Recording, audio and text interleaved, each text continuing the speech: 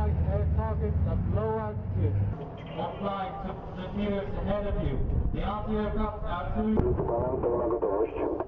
artillery...